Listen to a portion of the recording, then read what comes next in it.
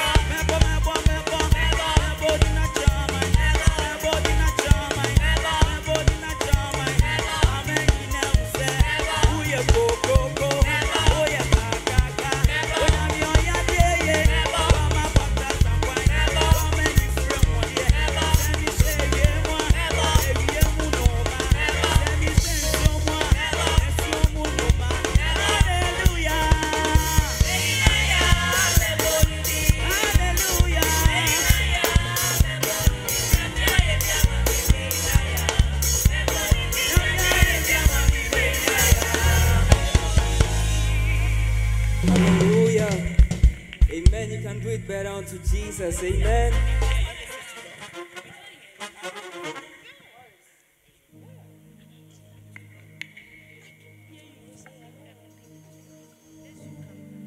Hallelujah. Amen. It's time for worship. I just want you to open your mouth, begin to bless the name of the Lord. Thank Him with the fruit of your lips. Bless Him. For He's a good God, He's a merciful God. Father, we bless you tonight. Your name be glorified in our midst. O baleve koshadeve koraba. Ikeleve no bashadaba. We give you glory, Lord.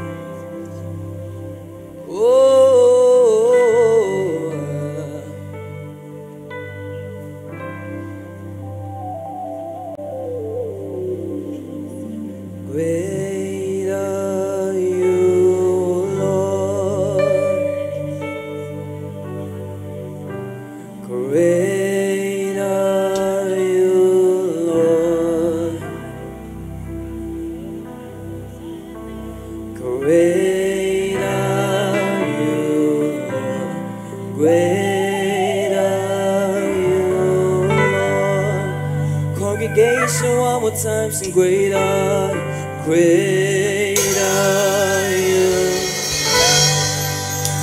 You are great in all your ways. The things you do, the works of your hands, great are you, Lord.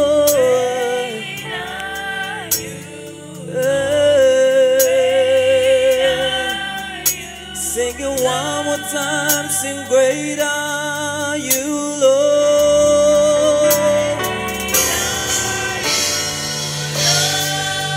Sing it from your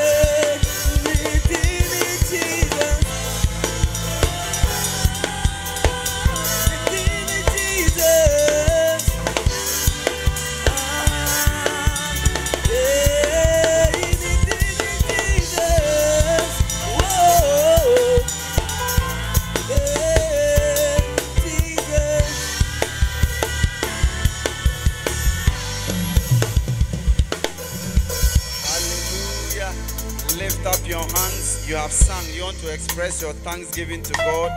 So lift up your voice and thank God, exalt Jesus, give Him praise, exalt Him, worship Him. Can I feel people that are serving their God? You want to worship God, thank Him, bless His holy name. The Lord said, Bless the Lord, O my soul, and forget not His benefit. You want to say, Father, thank you for my life, thank you for my strength. Thank you for divine health. I am grateful. Thank you for the opportunity to be alive again. You want to serve, you want to worship God. Pray, open your mouth and express your thanksgiving in the name of Jesus. Give him praise, give him glory, exalt him in the mighty name of Jesus. This hour of prayer is called the covenant moment. You want to meet God, you want to exchange, you want to tell God there is something in me that I need you to touch. I want you to turn it around. So begin to thank Him, give Him praise. Thank God for this morning. You slept, you woke up, you want to say, Father, I am grateful, I am thankful. Thank God for your parents, thank God for your family, thank God for your education, God for your job. Thank God for your relationship. Thank God for your businesses. Exalt God. There is something to thank God for. If you don't know what to thank God for, thank God for the mattress you slept on and woke up this morning. Thank God. Exalt Him. Give Him praise. Give Him praise. Give Him glory.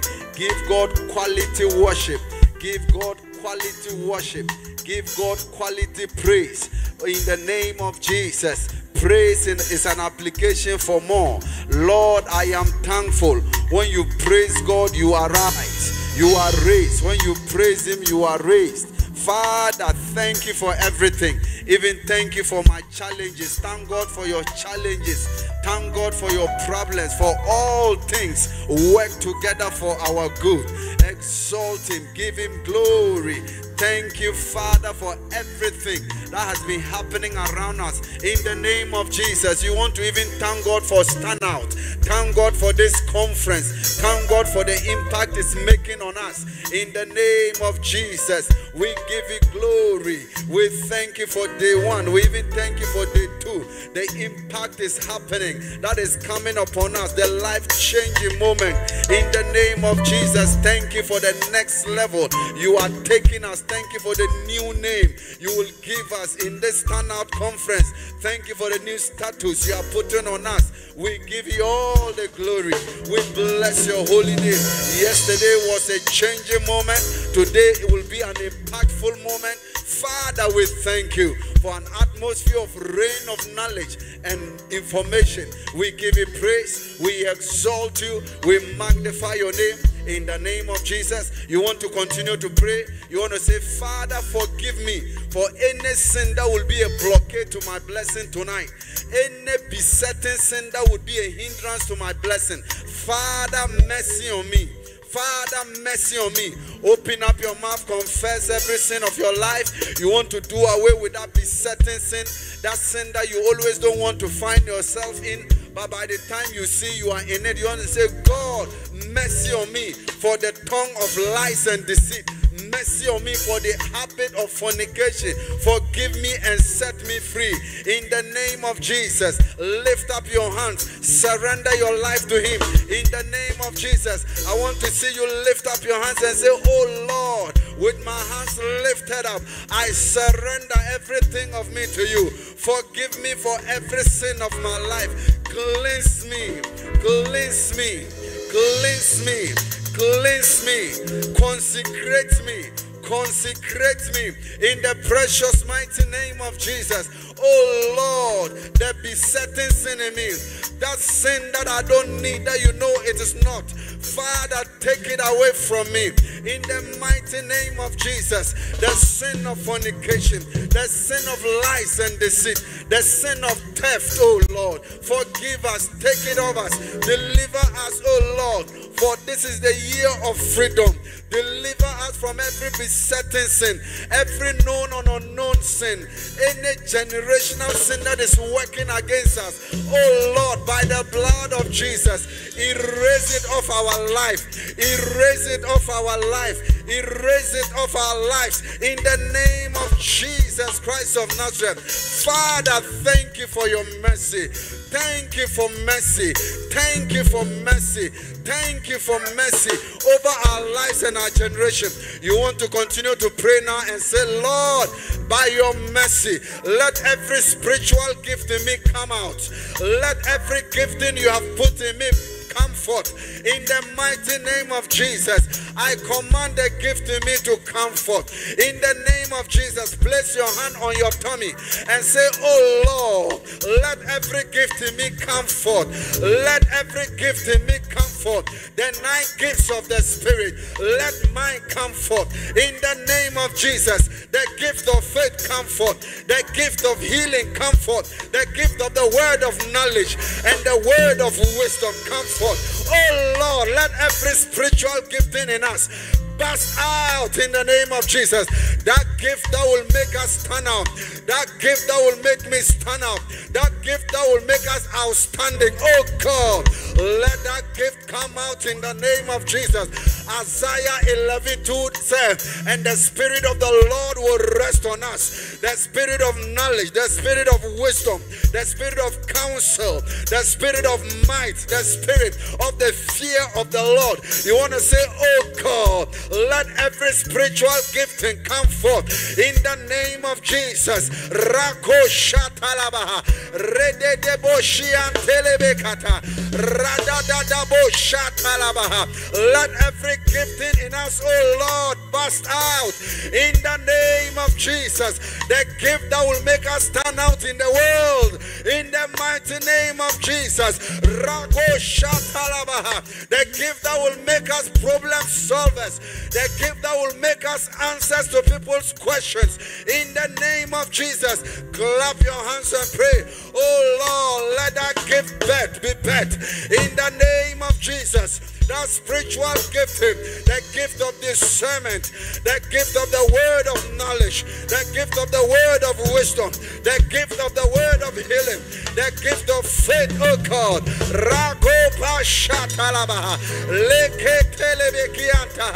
Continue to pray that the spirit of excellence will rest on us and our the, the Lord will give us career settlement.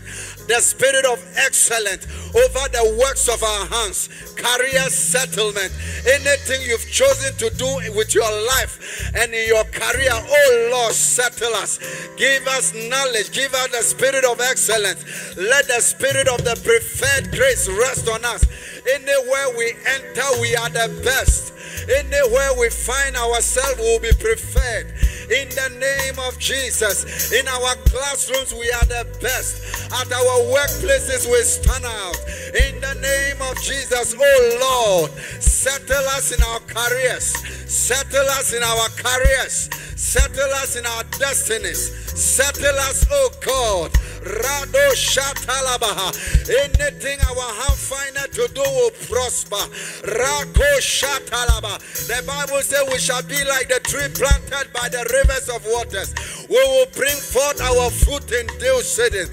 Anything our hand find to do, the spirit of excellence is upon it. In the name of Jesus. Rado Shakadalabaha. Continue to pray that as you are growing. Those that are looking for marriages, oh Lord, give us, settle us well in our choice of marriages. Rado Shakadabaha. We will not marry the wrong man. We will not marry the wrong woman as we are choosing our partners as young men and young women. Oh Lord, give us the right marital settlement in the name of Jesus. He who finds a wife finds a good thing. He who finds a man that fears the Lord will find God. Oh Lord. Give us the right partners of our lives in the name of Jesus. We will not choose the wrong couples. We will not choose the wrong partners. Oh Lord, give us the right marital settlement in our lives in the name of Jesus. Bring the right men and women our way, oh Lord, in the precious mighty name of Jesus. We give you glory. Finally, lift up your hands. You want to pray? that the spirit of the love of the Lord will rest upon the church, especially the youth of Trinity Baptist Church and the entire kingdom of Christ, that the spirit of love and unity will rest upon the church. And above all, we are praying that Lord, let the spirit of growth will multiply will depopulate hell and will populate heaven. Lift up your voice and pray, Father, let the spirit of love enter the church once more time. Let the spirit of unity enter the church one more time. In the mighty name of Jesus. How good and how pleasant it is for brethren to dwell together in unity. For it is like the head of Aaron that the oil of the Lord is poured on that runs down to the edge of his garment. Oh Lord, unite the church one more time. Let love prevail and let the church grow and grow and grow to your glory in Jesus' name. Hallelujah. Put your hands together for Jesus. He said, When you pray, believe that you have received it. We give God all the glory. Amen. Give the Lord a shout. Is that shout for Jesus? Oh, hallelujah. Sometimes we don't have to say nice things for you to put your hands together for the Lord. Just the mere fact that you are in the presence of the Lord, you are in your Father's house. Jesus Christ, through whom we have freedom. You want to put your hands together for Jesus. Put your hands together for Jesus. You can do it better. You can do it better. Oh, hallelujah. Are you happy and excited to be in the house of the Lord? Are you happy and excited to be in the house of the Lord? Then make some noise unto the Lord. Whoo! Amen.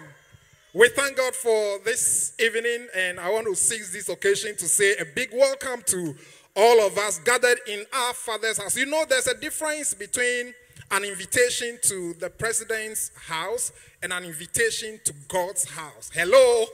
Are we together on this? You know, when you are invited to the president, it's, it's a VIP, VVIP invitation. Do you agree with me? But this is our father's, our father's house. Uh, I want to hear you say that. Uh, so it is V, V, V, V, V, V, V, V, V, V, V. Hello. But you know, the difference is that in the president's house, you are so careful, the way you even walk, the way you even sit, you want to be so gentle and all of that. But we have a God who is more than the president. VVIP invitation. But you have the freedom to, in quote, misbehave. Please put your hands together for Jesus. And if you if you join me, I want you to be on your feet and make a noise unto the Lord. In the house of the Lord, there is liberty and there is freedom. Enjoy that freedom whilst it lasts. In Jesus' name, Amen. Now we are declaring that it is the second day of Impact 2024. Hallelujah. Yesterday was great. Today is going to be powerful. And tomorrow will be wonderful. Amen. And before I leave the mic, I want you to know that this program is being organized by Impact Ministry. And Impact is a vibrant ministry that is dedicated for or to bringing young people to align themselves with the purpose of God so that the call of God upon their lives can be fulfilled. And if you are that person who is determined to do the will of God and become so distinct in life, then you are at the right place. Say, I am at the right place. And look into somebody's face and tell the person you are at the right place. And you are doing the right thing with the right people, with the right motive for the right results. In Jesus' name. I said last time that life is a journey. Hello? Life is a journey. And on this journey, people fall off.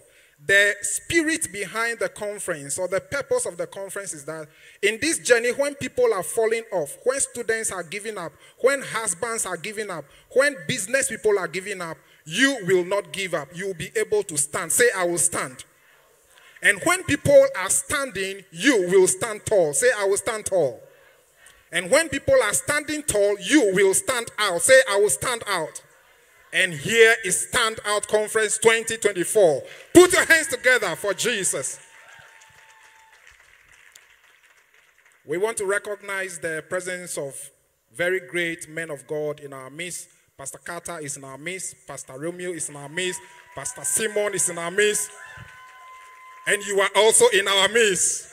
Put your hands together for yourselves. Oh, hallelujah.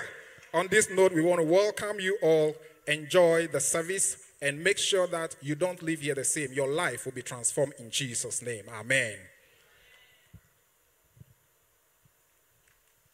Hey, hey, hey, hey. Is that clap for Jesus? Good evening, church. Welcome to Standout Conference here at Trinity Baptist Church, an oasis of restoration. We are a church that is committed to the Great Commission, transforming lives and fulfilling destinies. Standout Conference continues tomorrow, right in this auditorium. Tell someone, invite a friend, invite a sister, invite a loved one. And you can't afford to miss this. So I want to see all of us here with someone. Are you bringing anyone tomorrow? Are you? Hmm, you look suspicious. Okay, so the Kingsley Appiagyei Foundation continues to seek partners to support needy but brilliant students. For this reason, the foundation will continue to have its maiden breakfast meeting on 27th April. Um, yes, for the partners. This is to deliberate on how best to support and sorry, this is to deliberate on how best to support the foundation and bring about the much needed transformation. Kindly see the church receptionist to fill out a form to be a partner. Church, are you ready? Are you ready? So the maiden Moses Bliss life at TBC comes off on 21st April. Are you ready? Are you ready to praise the Lord? So yes, so our maiden Moses Bliss is live here at this auditorium on 21st April at both services, so both first and second services. And it's going to be a dress down, so feel free, come in your sneakers, in your jeans, because you are going to praise and worship the Lord. So you can't afford to miss this experience. Please, I want to see all of us, everybody. Bring your colleagues, bring your friends. Everyone should be here. And come with a friend too as well. Kindly like, share, uh, or follow the church okay, on Facebook, on TBC Ghana, on Instagram, TBC Ghana, on, on, on Twitter, TBC underscore X. On this note, can we all bring out our phones, everybody? If you have a phone here, please bring it out. Turn on your data. We are going to follow impacts right now in this like very, very minutes. You are going to like all our posts. So please go on Instagram and follow Impact Africa. Has anyone found us on Instagram right now? Give me a wave if you have. Give me a wave. Give me a wave. Give me a wave. I can't see us on our phone. Oh, we didn't bring our phones. Please, have you found Impact Africa? Please follow us and like all our social media posts.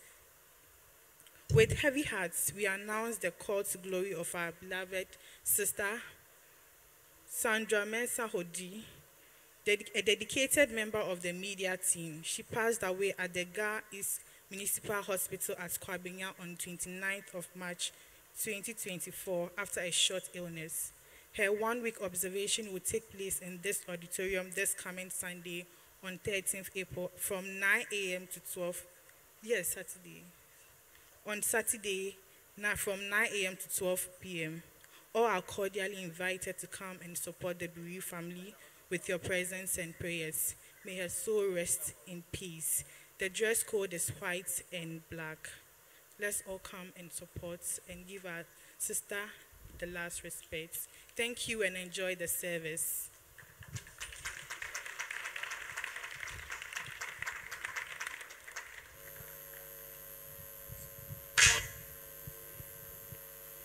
Hallelujah.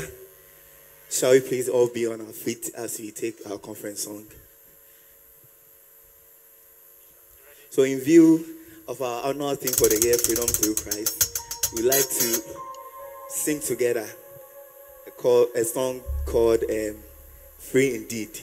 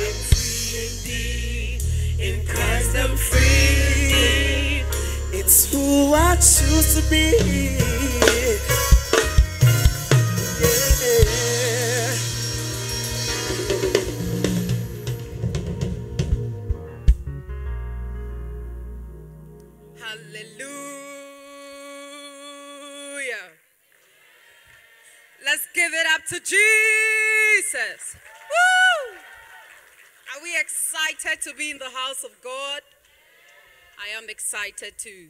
Today we're, we're having a discussion on building corporate poise and personal branding. And I have the singular honor to give the opening speech for just 10 minutes and then we'll have our panel here. Amen? Are we excited? Yes. Hallelujah. So, one good thing is that we're Christians, first of all. And glory to God, we're Christians. And wherever we find ourselves, it's very important that we carry that crown with all grace and happiness, with all grace and boldness, with all grace, reminding ourselves that we are indeed the salt of the world. Amen? Okay, so I did a few research and I would like to share with us. What is poise? Poise means being graceful, elegant, and having that bearing as a person. So, wherever you find yourself, or by the time you're walking into a certain place, they would have been able to see that you carry a certain poise, a certain identity in yourself. Amen. So, professional presence is very vital. It's, in fact, a very vital component if we're looking at developing yourself career wise. Okay. And some of the things you need to look out for in developing your corporate poise or your personal brand is, first of all, understanding your professional presence. You need to come to that realization and know where you stand. Make an assessment of yourself and find out if um, how do people approach you? Because of course, I'm sure we've heard this quote: "The way you dress is the way you'd be addressed." So do a retrospective analysis of yourself and see how people approach you, how people react when they meet you, and all that. That would first of all give you an analysis of um, the kind of presence you carry. Amen. So, in that, you'll be able to understand your ability to command a certain respect, inspire a certain confidence, exude leadership confidence, being diligent with your work, communication skills, being authentic in your personal style. Amen. Are we enjoying what I'm saying, or it's a lot of English language? Great. Personal branding involves consciously shaping and promoting your personal image and reputation. Personal branding involves consciously shaping and promoting a professional image and reputation. So, after you've done an assessment, you would have to now look at how consciously you would want to shape your appearance and how you want to promote it, okay? So, you want to identify who you are, what you stand for, the and then how different you are from others within your corporate field. So some of us are in school now. Um, I remembered when I was in UPSA, um, a lot of my mates wouldn't make time to come for um, e- extracurricular activities like programs and the likes. And I can say for a fact, and I would give that as an advice to those of us who are still in school. It's not only going to school to go and make the grades, that would make you a great person in the future. You need to make time for other things that will build you up for the tough world. Amen. So I went to one of these programs and I heard about LinkedIn. Say LinkedIn. How many of us have heard of LinkedIn? Great. And and the good thing too about LinkedIn is that it's it's where you find a lot of um, corporate organizations, corporate people, like-minded people. It's, it's a lot of, you know, serious work over there. No plenty play and all that. So I encourage you. I put myself out there and I started following the right people. Say the right people. How would you know the right people? You remember I made mention of who you are, what you stand for, and how different you want to be from people within your field. So you want to assess yourself. First of all, you are a child of God. You are the salt of the world. You are created in the image and the likeness of God. So in all that you are going to, you know, present as a corporate um, presence, you want to imbibe those values in that image that you are creating. Amen. So I, I, I decided I'll follow people who are of like-mindedness, people who post things in the area that I'm interested in. And that is how I built my corporate image. That is just online. Physically, what did I do? I made conscious efforts to see how my appearance would be, how consistent I can be in my work. And I encourage you, you may never know who is watching you, but if you want to really excel as a corporate person, as a professional person, be it a footballer, whatever field you want to find yourself in, you have to be conscious of how you want to be approached. Amen. Developing your professional presence also involves projecting a gravitas. Say gravitas. It's, it's more like an aura of dignity, seriousness, and credibility. When people see you, they should know that this person, when we give her the chance, she will deliver. So you are not looking shabbish. You are not just all over the place. You are serious and you know what you are about. You are diligent in your work. And when you are called to do your work, if you cannot do it, you are you are truthful to the fact that I cannot do it. Please hand it over to this. Or, oh, I'll go and learn about it. Right now, we have social media, we have the internet, YouTube is there. There are so many good things that we can learn to build and make ourselves ready for the corporate world. And in fact, and, and, and in fact, sorry, enhance ourselves and make ourselves more visible for greater opportunities. Amen build authentic and be authentic and consistent. I think i mentioned consistency already. Authenticity is more like choosing a certain position and being with it. And not being swayed by you know all the trends and everything that comes around with it. You should seek feedback and then adapt. So you, you want to have mentors, people that are in your field that you want to build mentorship from. Seek mentorship, seek feedback from them. Have colleagues, people who are your, your colleagues, seek feedback from them. And of course, one other thing that will keep you on your toes is to have people who are younger than you that you want to be talking to. It also keeps you on your toes and it helps you prepare and project a very great corporate um, image. Amen. The last but not the least is a scripture I want to leave with us. Jesus grew in wisdom and in stature and in favor with God and all the people. So, Jesus being God, he, he had to grow at a certain point in his life. That is the message I want to leave with us in this meeting today. That he grew in wisdom and in stature. That stature could also mean that in a certain presence, Okay? So while he was building himself, being in the synagogue, asking questions, and, and even though he is God, he wanted to leave a certain mark for us to follow. I encourage you today that you make the conscious effort to build wisdom and stature in your corporate space. And as we are in school, while we are in school, prepare yourself for the workplace. Amen. So that is all I would want to share in my 10, my 10 minutes time. I hope that I've been, uh, my, my, my, my story has been a blessing to you and it's going to help you in your corporate space or in your professional life. Amen. Let's give it up to Jesus. Oh, please do it better for me.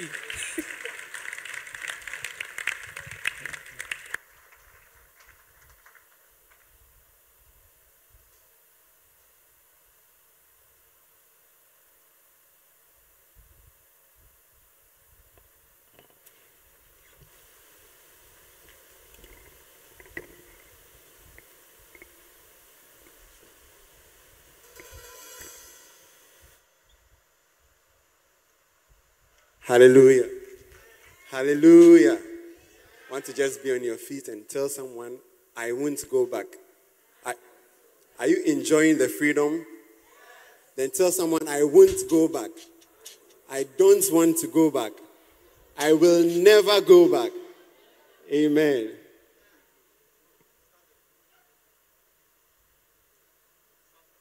Put your hands together for Jesus. Amen.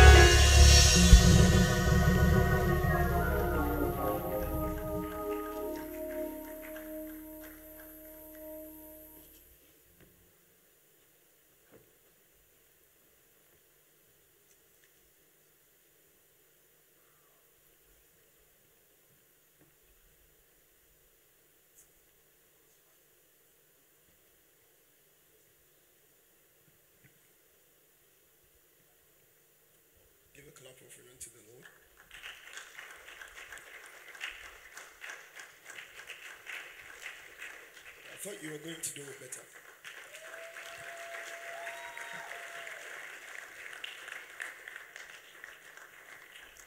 All right. Good evening to us all. You don't sound like you guys are happy to be here. Am I alone in being happy to be here? Are you guys excited to be here? Yeah. do it better unto the Lord. Come do it better. Okay. All right. So this is Standout Conference 2024, day two. Yesterday was very awesome. We had a segment called What Are You Saying? Where we had the boys, men, our grandfathers, our fathers, and our uncles separated onto the women, the ladies, the girls, our mothers, and our sisters. And it was a whole awesome moment and a beautiful experience. But today we are taking it a notch higher, where we are going to delve into certain aspects of our lives. Because we do believe that we do believe that only about spirituality, but it's about the totality of our lives as Christians. And so today we are going to delve more into our career prospects.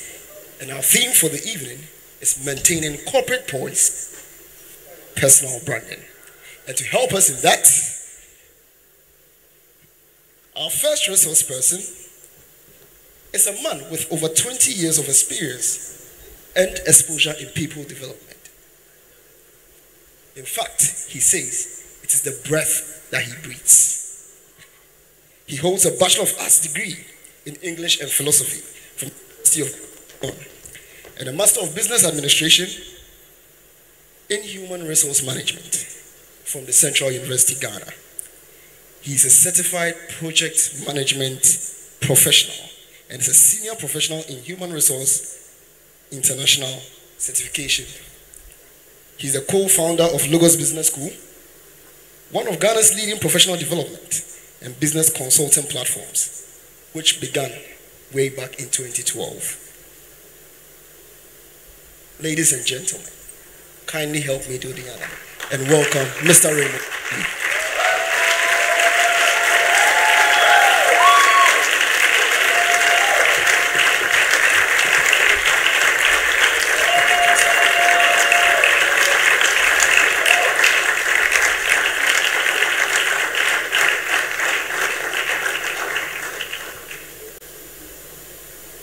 Okay. Now that first resource person. Our second resource person.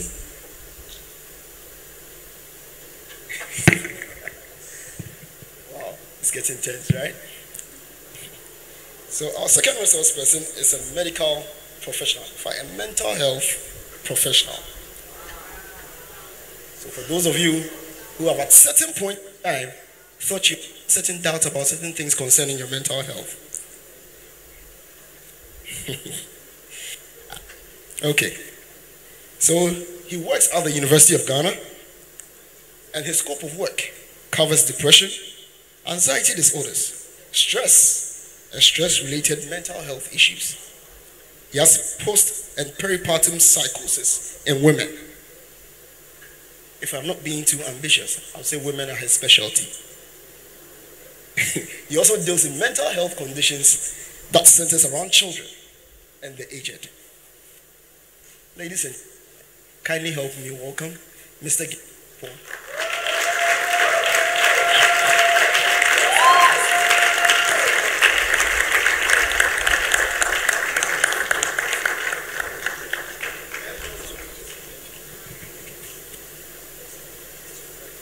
All right, okay.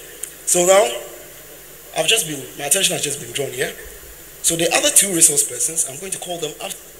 Then we'll give them the opportunity to introduce themselves to us. So we can have the opportunity to ask them the questions that we, we want to ask. I hope that's fine.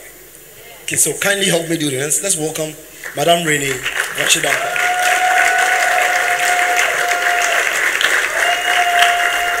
All right.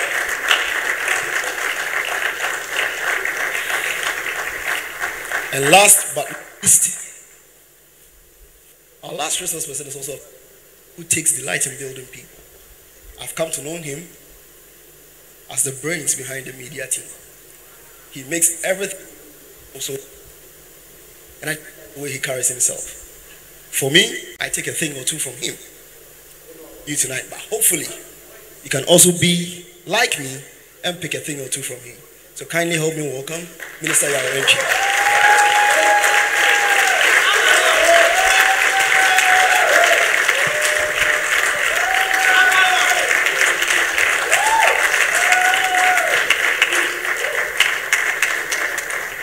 Okay.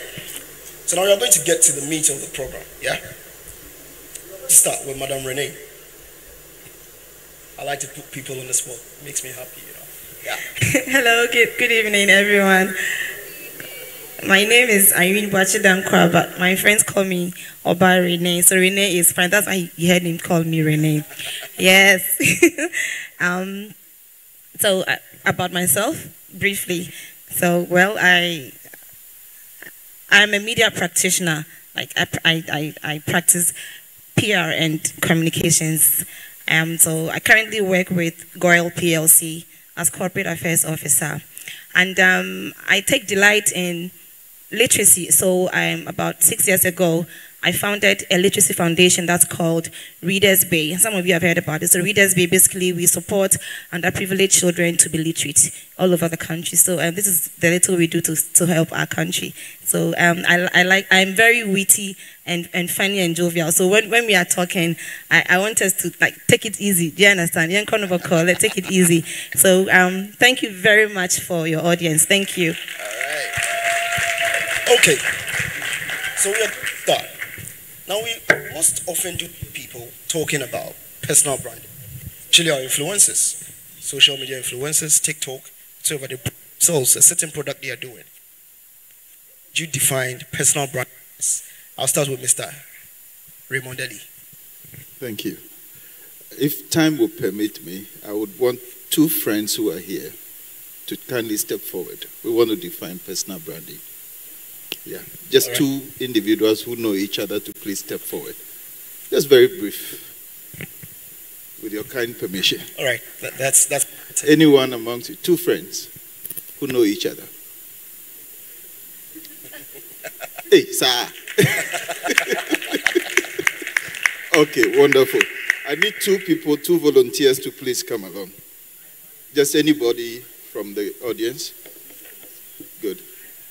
One more person? Wonderful. We want to define personal branding, and we are going to have these two friends.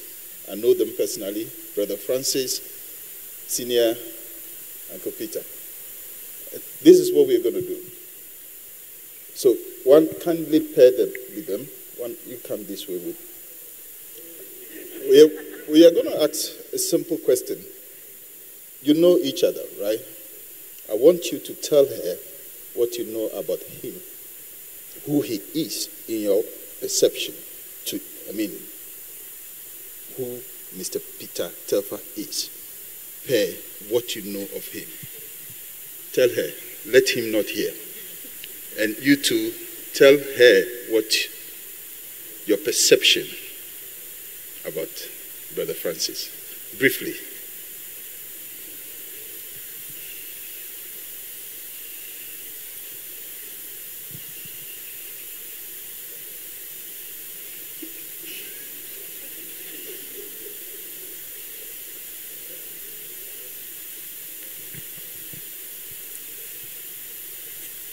At this point, we should all be ready. It could be you next. Yeah. We are defining personal branding. That's all. Good. Okay, thank you. So that's the first question. The second question is to answer the simple question Who do people say you are? Okay.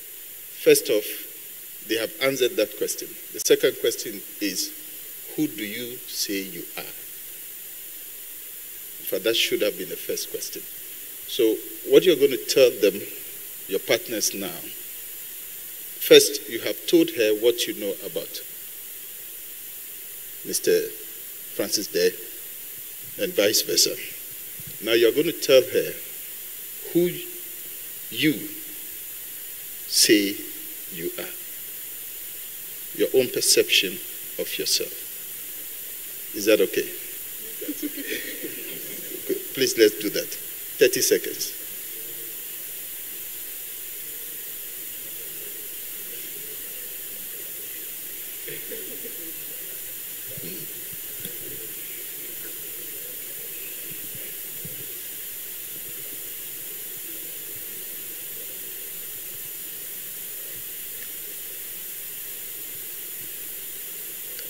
Okay. Let's keep it there. Okay, thank you. So this is a, a simple exercise in an attempt to define what personal branding is. It's about perceptions.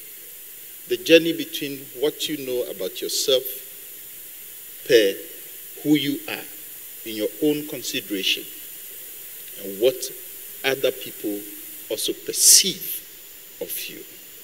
That is your personal branding.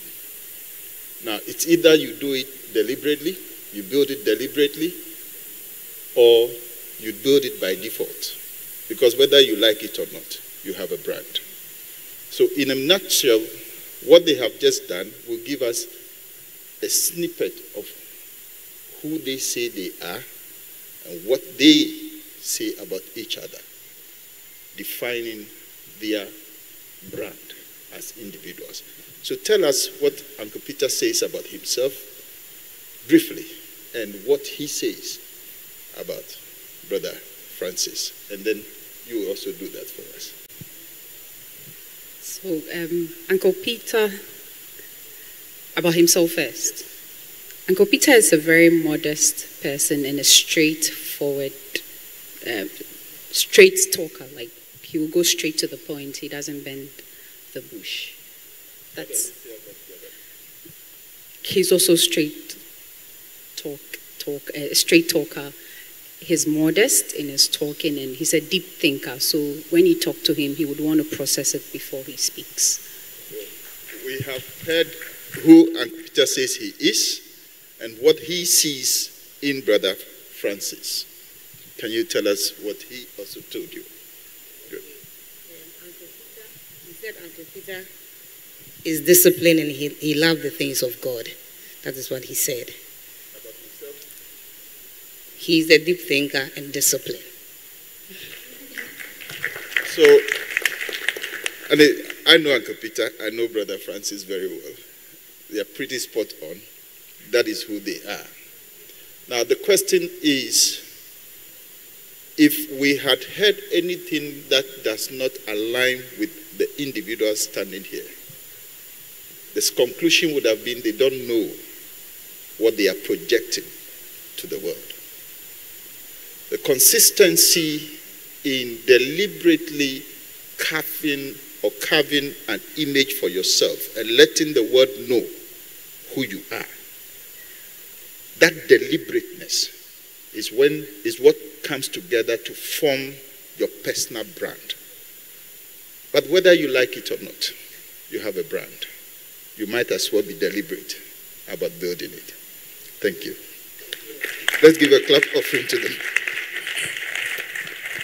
Okay. That was a beautiful demonstration, wasn't it? Yeah. Okay. So now to my next three panelists. In the next three minutes, one minute each, we want you to tell us, and please pay rapt attention because after this question, I'm going to keep mute for the rest of the session. So we give you the opportunity about things that are bothering you concerning personal branding and maintaining corporate poise, especially the young ones who are doing internship, national service, and all that. So please. So back to the next minute, minute for each. What has personal branding done to your career as a person? From where you started to where you are now. How impactful your personal being to your journey? I'll start with Minister Entry.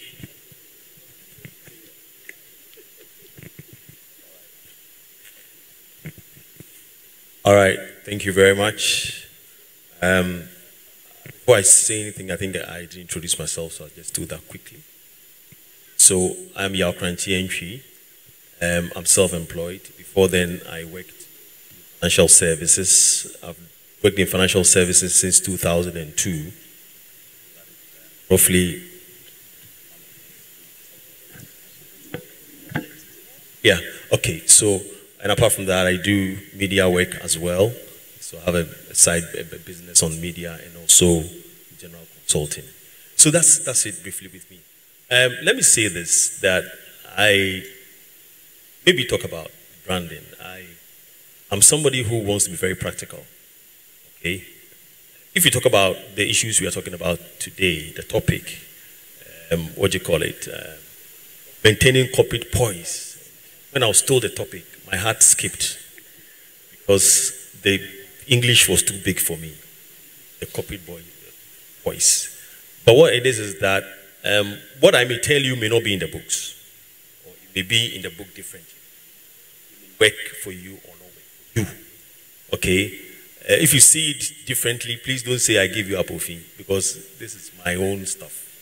And that is what I am. Every work that I do, I try that at least I would have practiced for over 12 years before I can call myself an expert. Other than that, I don't, I don't try. So, how my branding has helped me is this. Um, starting off as a young boy, I was very, very shy. I was a big stammerer. I was everything. And somewhere along the line, when we came to know Christ, I said, um, my brand in life, I didn't intentionally then I said, I'm going to be a lion and a lamb. So that is me. So in certain situations, I come like a lion. No negotiation works. Certain situations too, I come like a lamb. Sometimes I even feign um, like I'm a fool so that we can get the work done. So both, I believe that has worked for me. So in my career and also in my own business, um, I remember there are times when before some people will bring some reports to me, they would have done their work well. Because then otherwise, then the lion will show. Before I ask one, two, three questions. So after some time, I realized that the quality of work that people bring me has shot up. And what does a lion do? I'll put you in a place, but then again, I'll teach you. So over time, over about three, four, five years, I didn't have to work so hard because the quality of work that came to me. That is what I'll say briefly. Thank you.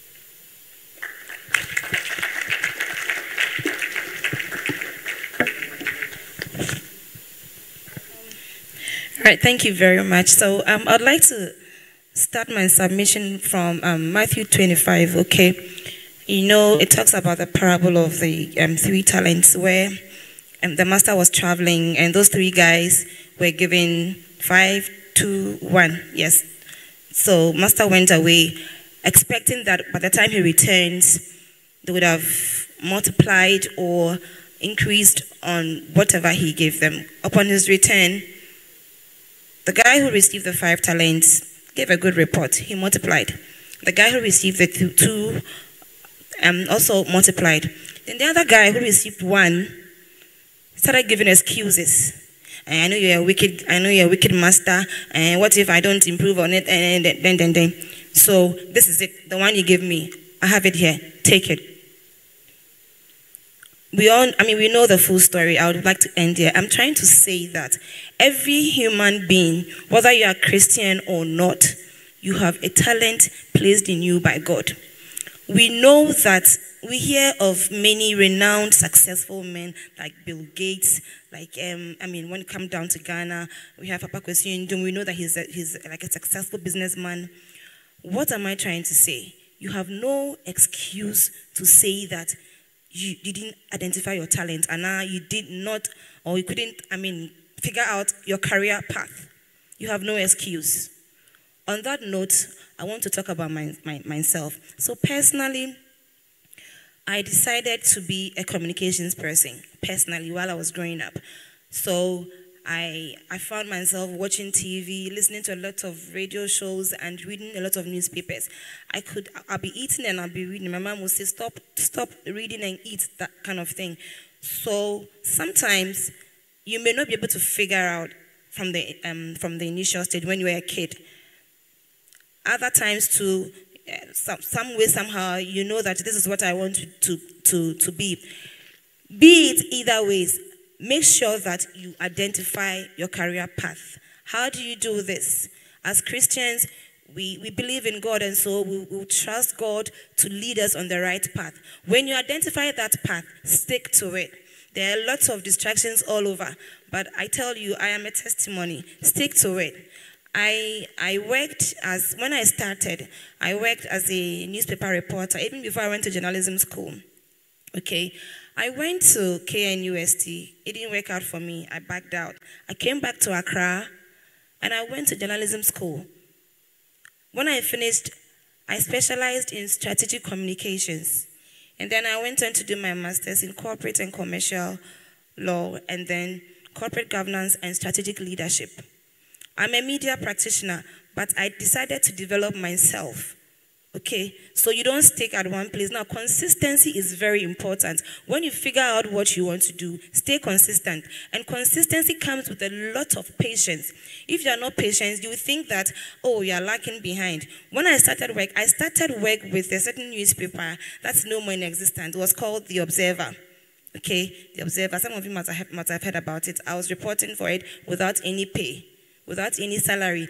See, when I cast my mind back, like 15 years ago.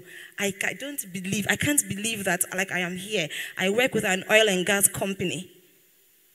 And I'm a corporate affairs officer. It's no joke. Consistency is very important. Consistency and patience. If we leave this conference and you forget about anything at all, please remember consistency and patience. Okay, so once you figure out all these, I tell you there are lots of blocks on the way. Sometimes you feel that you're not moving forward. Sometimes you feel that oh, so with the patience aspect, you must be prepared to learn and learn and learn. I was I was a very now I'm a senior staff. I'm a senior officer. I I I I, I, I used to think that uh, when am I going to grow in my career path? But I tell you, consistency has brought me this far. When you figure out what you want to do, when you figure out a career path, you may be an entrepreneur, you may be like, you know, uh, like a like, like I, you're hired in, in, in, a, in a company. Stay consistent. Share. Don't look at the money. When we say that, don't think that money is not important. Money is not important when you start from the scratch, don't make money your focus. And yes, sir, you, you, you, you, you, you can't reach anywhere. You can't reach anywhere. I didn't look at money as, as my focus. I looked at how I could develop myself. I was learning from the, my seniors. I was learning from my colleagues. I was even learning from my subordinates. You need to be humble. If you're not humble, you, you, you can't even be patient enough to think of being consistent. So please, this is what I'll leave with you. Just identify what you want to do. Stay consistent with it. And I tell you, you're going to blossom like the flower. Thank you very much.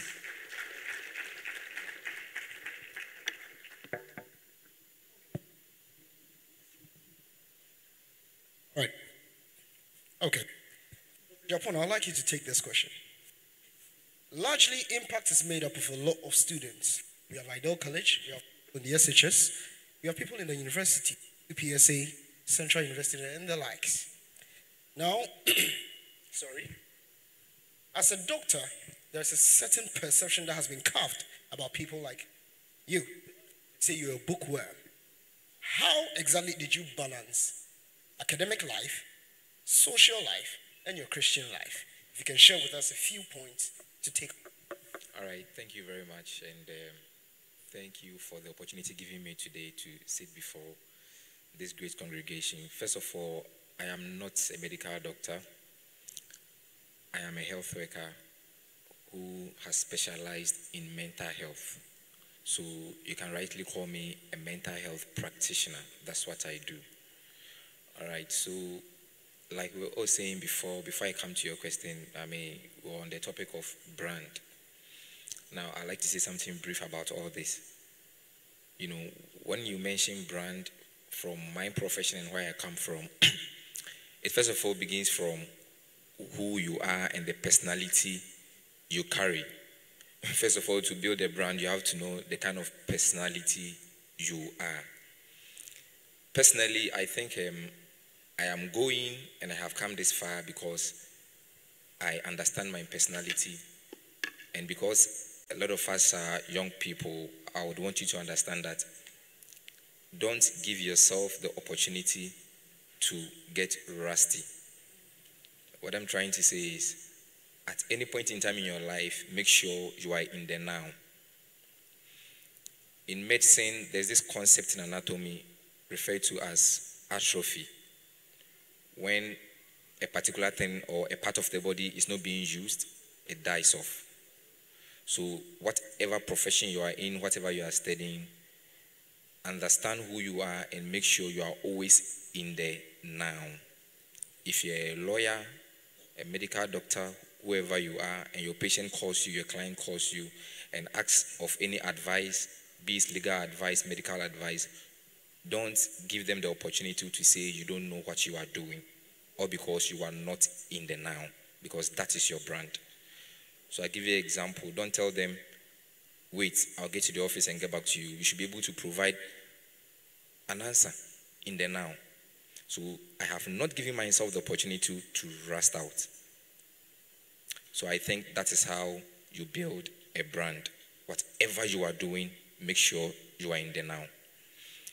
And then back to um, the question you asked, that's how I manage my social life and my educational life. Well, it all borders on planning. You know, as a human being, you must make sure that um, you understand the fact that the human life is made up of compartments. You have a social life, you are a social being. If you are going to school, you must know you have something on the table.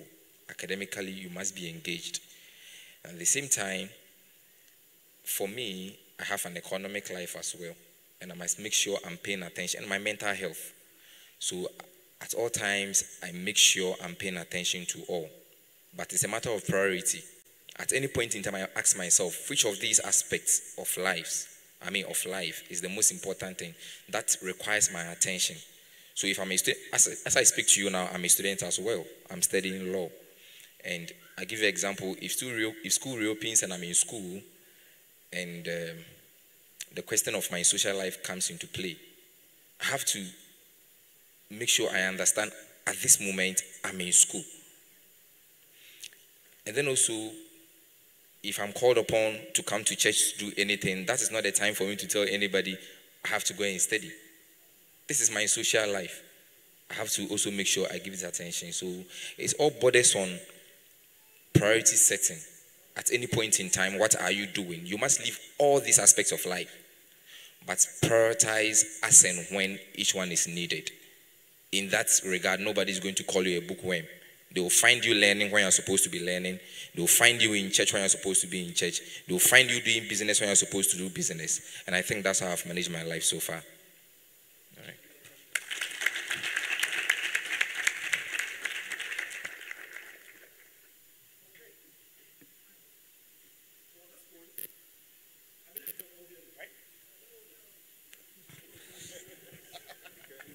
All right. My microphone is back. Okay, so at this point, I'm going to give you guys the opportunity to ask questions that have been bothering you. So if you have something on your mind that you want to ask them, they are experts, gurus. They are all experts at what they do. So if there's any question that you want to ask them, you can kindly show by hand. I'll bring you the microphone so you can ask them. But whilst we wait for that, let's say I am a corporate person. I like to keep a certain brand. I'm very big on personal branding. But then, say in church, I join a particular group, and the group wants us to dress in a certain way. Let me put my people on the spot. Let's say of the choir.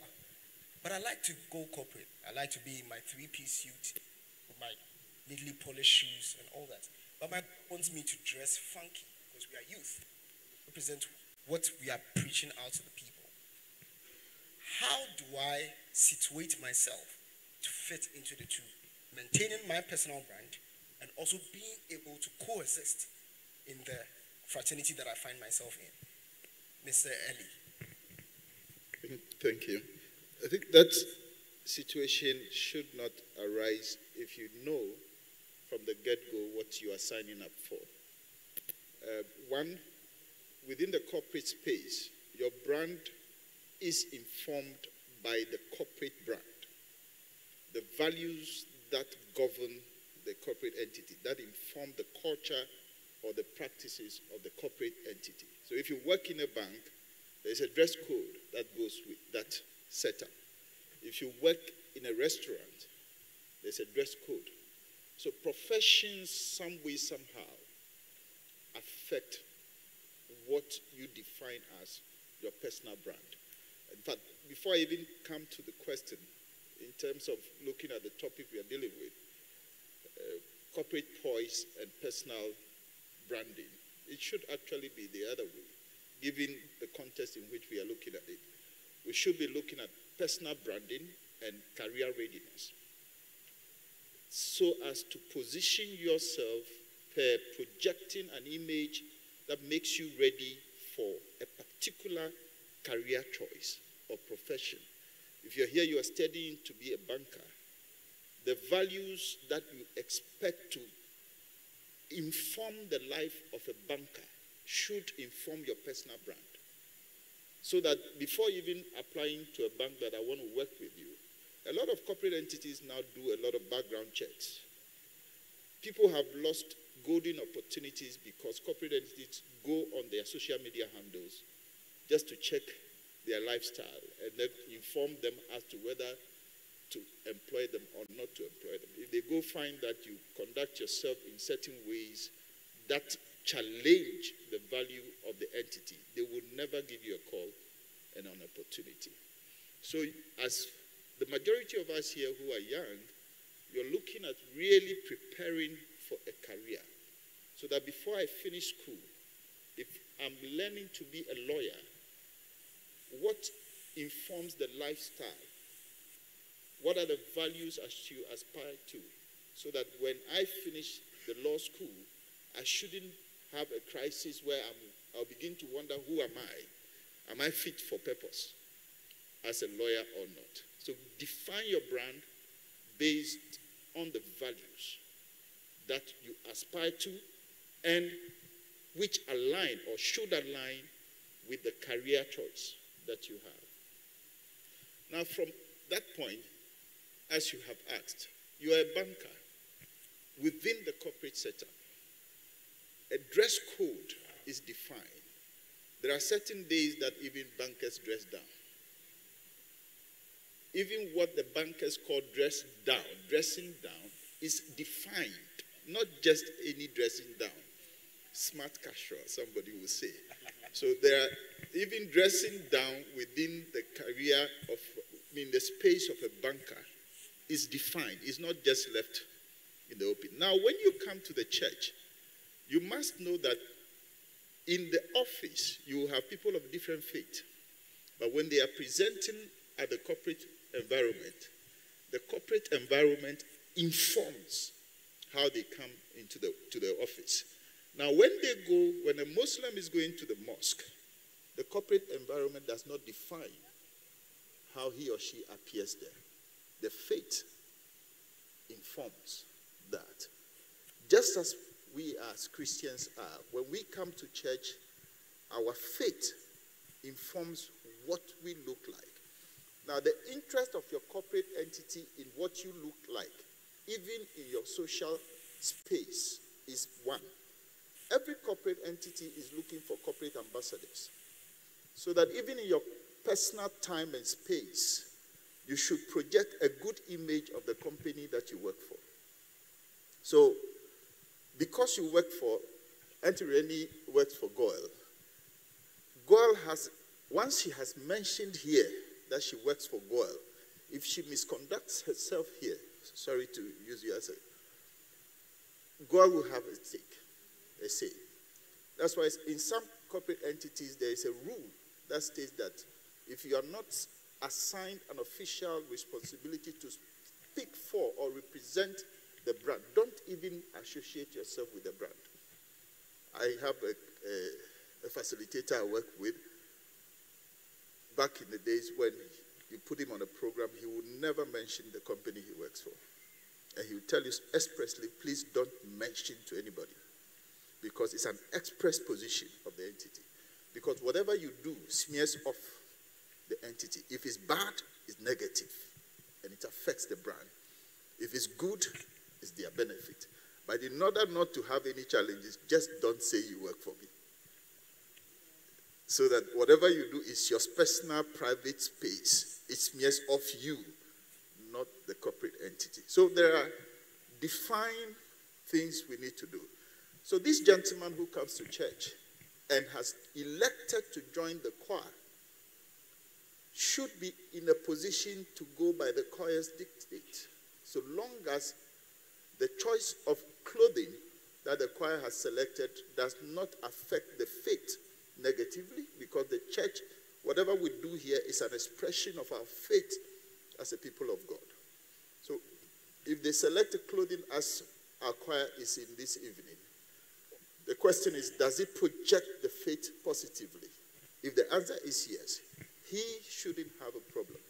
The moment he has a problem, then he has to step back. That's why you don't just get up and join associations. You need to, first and foremost, be sure what you're signing up for. Does it align with all your priority centers? If it doesn't, don't join in the first place so that you don't have the challenge of having to ask whether to go or not to go. Be sure before you join. Thank you. Okay. Minister Yao, your take on that. Thank you very much. I will just add a bit to what he said. Um, I, as I said, I, I normally have my own controversial views about stuff. Normally, I think that when people talk about personal branding, we limit it to how people dress and how people appear. That is important. But whatever is on the outside starts from the inside. Okay? And so I would address us as Christians. What the Bible says about us is that we have the mind of Christ, which is 1 Corinthians 2, I think 16. And then Luke chapter 6, um, somewhere 42 coming, 42, 43. It talks about the fact that a good tree would bear forth what? A good fruit, isn't it? And a bad tree. So for me, personal branding should begin from inside. Okay? You do a lot of introspection, see what is desirable and what is not. And obviously, you're going to gravitate towards the one that's, that's, that's desirable. In your organization, um, for example, if, if, if we do um, a job adv- advertisement or we advertise for a position, a vacancy, there's certain attributes that are listed. And when we apply, we try to make people know that we have them. Was it about a month ago so? I had a chance to interview a young man. The skills, I told him I'm a very practical person. So if you say you know Excel, I'll push the PC in front of you and say, do these functions. That's for me, that's it. I don't I don't ask you what is your strength, what is your weakness. I look at the thing you have. Wait, what is your skill? I'll push the PC before you do it. By the time we're like 10 minutes into the interview, now the guy says, I'm ready to learn. Do you know what that means? It means the things on the CV he didn't know.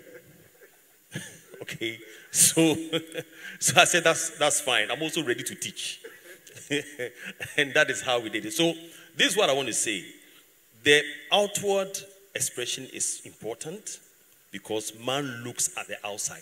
I'm not discrediting it, but the more important one is what you have identified from within. And if you're a Christian, the Bible says that you have the mind of Christ, and then you are um, what do you call it? A good tree. I presume that you are a good tree and you bear good fruit. I believe that um, my co-panelists have, have, have shown you how to get there. Consistency, I've heard consistency. I've heard prioritization, okay? And I will talk about small steps every day. Small incremental steps every day. And then also feeding back. Finding out the same way um, Uncle Raymond did here and make people um, talk about each other and all that. You must be bold enough to take those comments about you. I remember, you know, I just said, my, the first thing I said was that I decided in life to go, my, my internal constitution is that I'm a lion and, I, and I'm a lamb. There were times in a meeting, I remember one time, something happened, and I spoke. And for me, that is one thing. I'm, I, I've prayed for it. Courage. I've prayed for it. So me, I'm not afraid of. So I spoke, but it didn't land well. So my other management members said, "Yeah, please apologize to the MD," and I did. That is a lump side, right? That is a lump side. But over time, when we go for meetings, there's a guy. I'll, I'll call him Charlie. And a meeting, me behave He says, "Oh," and he's he's he's candid enough with me to say, "Yes, da da da da da." You understand what I mean? Because I see myself as I'm in there to solve a problem. I move to the next one, which is within your, as you are preparing to enter the corporate space or your wealth or even your own business. And honestly, I find it even more challenging in my own business than working for somebody because what I am not able to do in the corporate space, in a, in a, in a, in a work environment, somebody else can step in and do. In my own business, if I can't do it, it's dead. So, you understand what I mean? So, that bit, and so I said to myself that I'm a problem solver. Anything that goes and hits a snag, bring it to me. The lion part arises, we'll sort it out. I realized that it was even more important when I went into my own business because there's nobody to solve my problems for me. And so, for me, that is what I would say. Let this begin from inside you. And as a Christian, work towards it. Pray about it. Use the spirit of discernment God gave you, which is spiritual, and use your brains, which God gave you to do the analysis, physical sort of analysis. You know what I mean? And combine the two and work towards it incrementally, um, uh, consistently, and with priorities. So that's that's what I'll say. I don't know if I made sense. Yeah. May, may I please quickly may I please quickly add that you see as you um, as you climb your career path or pursue your career and uh, identify your your personal brand and your corporate identity, I'd want to say that don't be rigid. Rigidity took no one anywhere, and for baby, don't be rigid. Make room for change. Like, you know, when he gave the example of I'm joining the choir, they're wearing this costume, I'm, I, I, I stand in this position. How do I do it? How do I join them to wear this costume? Don't be rigid. That's what I'm trying to say. See, make room, make room for, make room, make space for some little change. When you are rigid, you you you get stuck. It will shock you. You get stuck. And when you are rigid, it's like you're full of yourself. No, relax. Be flexible. Be flexible and make room so that you can you can you can for lack of a better word so that you can roll okay you can you can you can roll in anywhere god has another opportunity god has opened for you otherwise when you say that this is my position this is where i stand this is how i want it to be done no make room and stop being rigid thank you okay we have one question here So. My name is Daniel, and my question is What are some of the common pitfalls or mistakes we uh, encounter in personal branding, and how can we overcome them? Thank you. Mr. Gideon.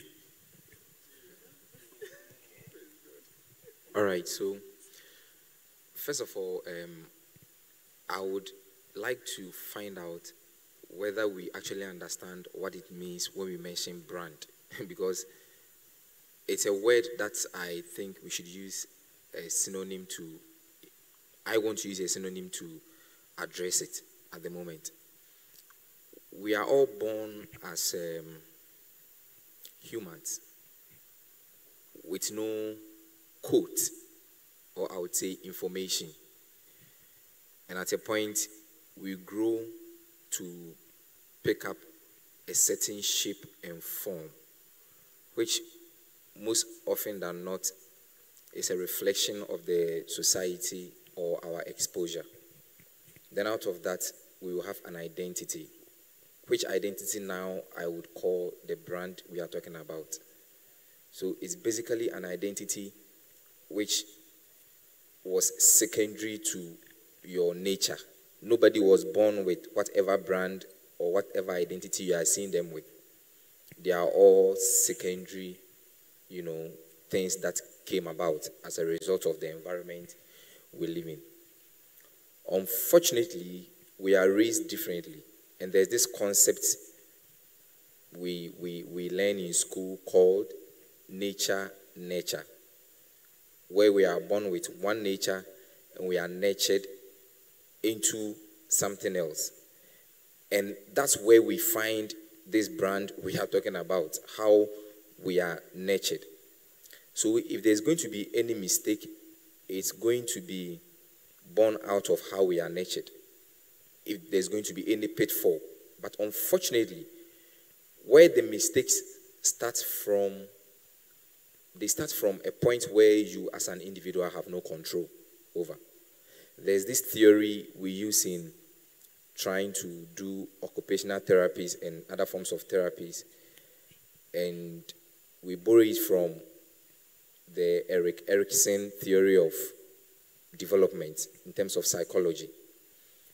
When a child is 18 months, which is a year and six months, I guess, they begin to learn and take certain identity out of which later your brand and everything else you want to call it will come from.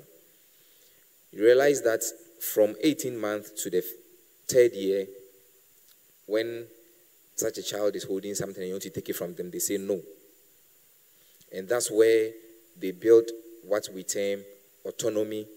And if parents don't allow them, they will shut them up, beat, start beating them from that age, and they exchange autonomy for shame. And then from the age of three all the way to six, you start building another set of. So if if you are not fortunate, you don't become an autonomous person. You are not able to, you know, project yourself properly. So you exchange it for shame. So even in class, when they ask a question and you can answer, you never put up your hands because something has happened to you that you were so much not aware of from 18 months to three years. And from three years to six years, you begin to pick one of these two. From three years, you begin to start initiating things. Initiative. Your mother is not around, she comes back, and then it's like you have cooked. you have added something up. So you've done something, nobody asks you to do it. And they beat you for it.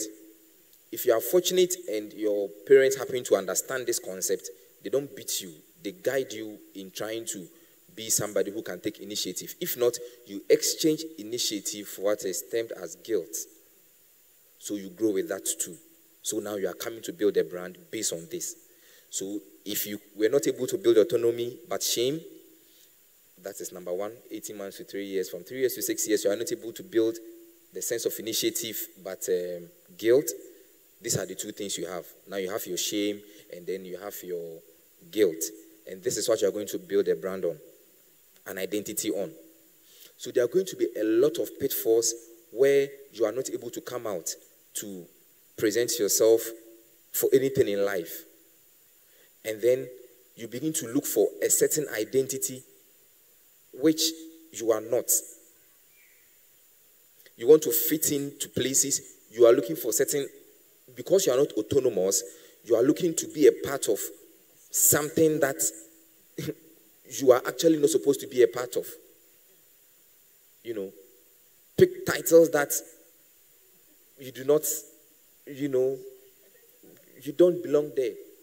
So you are not able to by yourself build anything. You go along where the current is. That's one of the first mistakes that we do. So people learn how to drink, to smoke, to learn other things and follow, not because they want to, because you don't have the mindset of an autonomous person. You don't have the mindset of initiative. So you have to do self introspection and find out if something went on wrong in these stages of development. Find out if the time comes that you are, you are supposed to make a decision. Are you able to do it? That's, I mean, in building your brand. You want to choose a course to go to university to study. Now you are asking everybody.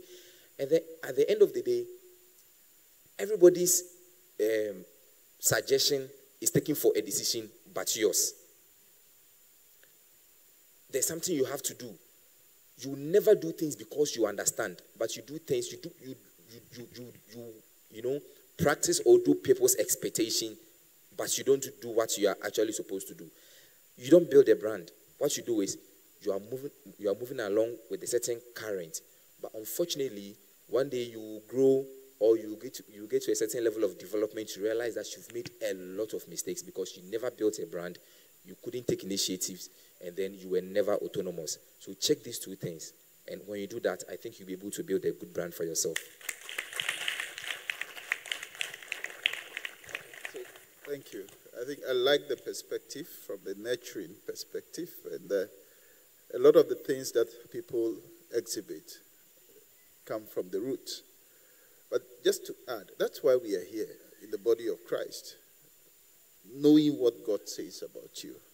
It doesn't really matter where we have come from. If you know the mind of Christ concerning you, Bible says, says, Be ye transformed by the renewal of your mind. Whatever is in your past should not hold you down and should not define who you are today and would be tomorrow. So we come to Christ. So, first things first, identify your weaknesses. Let me call these mistakes within the context of your nurturing your weaknesses. So, if you are beaten down to become a timid person who is not able to express yourself, him or herself, when others are talking, consider that as a weakness. If you lack the courage, Minister Yao says he prayed for courage.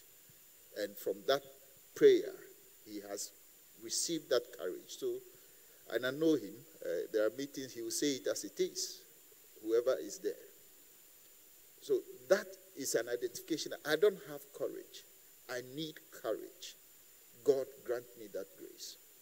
Some of us were not born with the grace to do public speaking. He talks about he used to stammer. I used not to also know how to talk before people, even to hold the mic was a big challenge. I had to psychologically make the effort that I can do this. So, identifying your gaps or weaknesses and challenges is one, and deliberately making the effort to undo them, backed by the mind of Christ that you have, that God has concerning you, and by your faith in Christ, you start from there. Now we come to others that we are dealing with practically by you yourself as an individual. Errors that we make in our journey towards realization of our expectations, our goals. You are in school now. The good number of us here in the universities, a number of us are in the secondary schools. There are things that you can't blame anybody for. And those things, if care is not taken, would mar your journey and will always come back to visit you when you least expect them. For instance, you're young today. You find yourself in certain companies that don't do, that are not good. Smoking weed,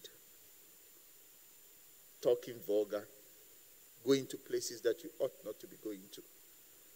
Ending up, for instance, let me use the example of tattoos, which projection wise are connote negativity. Anybody in a corporate space, when you see a young person coming in with tattoos of all manner, physically appearing even after having clothed yourself, is going to have a negative impact on you. People are spending fortunes to undo tattoos today. It affects how far you can go. You are young today, social media is the in thing. You care less what you post out there. You are defining who, how people perceive you. You think that, oh, that happened 20 years ago. It can be the basis for a negative decision with regards to your future. So there are things you don't want to contribute. You see, the, the, the word in itself, on its own, is, is nasty. You don't have to add to the baggage that we are carrying as people of God in the world. You don't have to contribute to it because without even touching anybody, you are having to give reasons why you should be selected. Don't add to it. There are lifestyles, dress codes, per your associations, you have you are given to wearing and dressing in certain ways. There are places you cannot enter with the way you dress. And there are simple things you can do to clean yourself up. But some, some will require a lot of effort. Some simple things. Learn to iron your dress. It doesn't have to be expensive. It's not about how expensive the dress is, it's about how neat you manage what you have. It is what you have. Learn to before you step out of your house. Clean yourself up. Be minded the kind of hairstyles you wear. Don't say somebody made me cut my hair that way. You can't blame anybody for that. Oh, somebody made me wear that hairstyle. No, it's you. We have to ask, let's speak from the perspective of we Africans. There is a, there is a major challenge that the school of thought out there, the Africans, we are given to giving excuses. The slightest opportunity is this, these people, the colonial master. We have beaten the colonial master for so long. They are not with us, but we are still saying, now we are going back, give us money, the money you took from us. When will we wake up to take responsibility? So take responsibility. If you don't, you will keep blaming others for your pitfalls, for your challenges, and your mishaps. Wake up what you can do from where you sit. If you're a late sleeper, if you are a lazy boy or a lazy girl, it's not your grandfather. He doesn't put you to bed and wake you up. You learn to wake up. If you are not tardy when it comes to timekeeping, it affects your brand. I have a culture. People, I mean, Isaiah knows. If I have to be somewhere, I, it's a spiritual statement I make. I will be in the space. If it's my own platform, before you come, I'm there. I will define the space spiritually before you come. I don't wait for you to come. And if I have to be somewhere, you make the deliberate effort that I must be there. Some people have lost golden opportunities for one minute lateness. So it's just a minute. Yeah. In your contest, it's just a minute. But that's a billion dollars to somebody. So you take responsibility and then add faith. We don't apply faith without taking responsibility. They go hand in hand. Thank you. Okay. Considering the time, my last question for this one minute each, as fast as we can. What has the done for you in your journey? Looking at how you've carried yourself from where you were coming from, where you are now, perspective to where you want to be, not there yet. What Christ factor done? One minute each. So I'll start from Minister Yao. I'm sorry, the one minute won't work for me. I beg you. Um, I'll say this: the story, the, the the concepts that Uncle Gideon shared and what you shared. I'll tell you two stories, and I think it will resonate with a lot of us. I think when I was in Form Three or Form Four, our physics teacher was in the class. He asked a question. I knew the answer. I would not say the answer. The guy was angry, whipped all of us. All right? That is how I was. Senior on duty. I was then in upper six. An announcement, I'll hide behind somebody to do the announcement for me. When I wanted to get on radio, right, I told my roommate in the university, he said, About you, the way you talk, Stama, how can you be on radio? All right? I'm saying this because of what the question asked, the Christ factor. What the Christ factor has done for me, I was, I was that, I was a worm. You know worm, not bookworm. Worm, proper worm. Um, I think Isaiah 14, 41 or so. There. Okay? But the, what the Christ factor did is it made me a new sharp instrument with teeth. I'm sure if I write a book in public speaking, you will buy, right? Right? God just gave. And I also worked. It, was, I, it also needed the help of one or two people to draw my attention to say that, ah, do you know you talk well? And I'm like, ah, me? Since when? Because a class that I know the question, I know the answer. I won't answer and they will whip the whole class. All right? What the Christ factor has done is that it breaks these chains. And it is work. You may pay, let me put it this way. I think you will pay a price if you want to build any of these brands that we have spoken about. You will pay a price for it. And I will end by mentioning about two or three attributes. Because I've already said that whatever brand that you, either intentionally or unintentionally, honestly, for me, I haven't been too intentional about some of them, except the one that I said, for me, I'll be a lion and a lamb. That is what I'll go with. So you can't cheat me, I also not cheat you. But two things I'll say integrity. Even before you sit down and do a proper analysis of yourself to see where your weaknesses are, aim that one of the attributes or brand attributes that you are going to have for yourself is integrity. And I promise you, you pay a price for it. But it would put you in a good place. The second is boldness. Not by heart boldness, boldness in Christ. Okay? That enables you to be able to stand your ground. Stand your ground when the storm is very strong. I believe that even before you look at, um, we've mentioned a lot of things, look into your own life, see where you come from, see the things that are fighting against you. What I've given you is just universal ones which you can top up when you identify your own specific ones which you need to work with integrity and boldness. Thank you very much. Okay. Madam Renee. So the word of God says that um, Christ says, "Be ye perfect, even as your heavenly Father is like is perfect." That, um, so the Christ factor for me was that when I started, um, when I figured out what I wanted to do when I started, I realized that I, I did a lot of shoddy work. We are here to share experiences with you. We are not perfect. We are sharing our pitfalls with you, the, the nasty sides, the, the bad things that happened to us, so that uh, we could take one or two cues from them. So when I started, I was very, um, um, you know, maybe maybe you can say lazy. I wasn't I wasn't paying attention to details. My boss would give me something to do. I would deliver anyway, but it didn't have substance.